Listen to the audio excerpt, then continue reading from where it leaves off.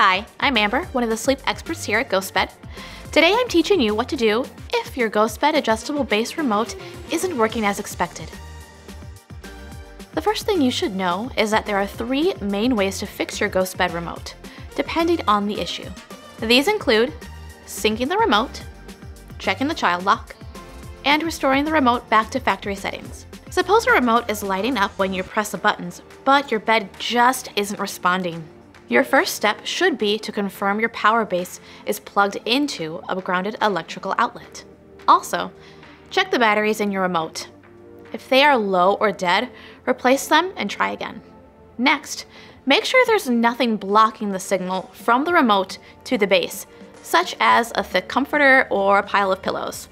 Next, check that the child lock feature is off. To test whether the child lock is on, press the flashlight button if there's no light, your child lock is probably on.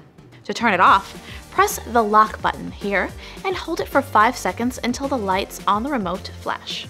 If after trying all this, your remote still isn't working, it's time to reset it back to its factory settings and resync it with your bed. To reset your GhostBed remote, hold the 0G button and the flat button at the same time and hold until your remote flashes. This may take about 10 seconds. Now, you'll resync your adjustable base and your remote. Unplug the base from the electrical outlet. Then hold down the pair button as you plug it back in. You will see the underbed LED lights flash, which means you're doing it right. Continue holding down the pair button until the lights stop flashing, and then release the button. That's it. Your bed and remote are now restored back to factory settings, paired and ready to enjoy. I hope that helps. If you still need assistance, give us a call or chat with us live from ghostbed.com. We'll be happy to help.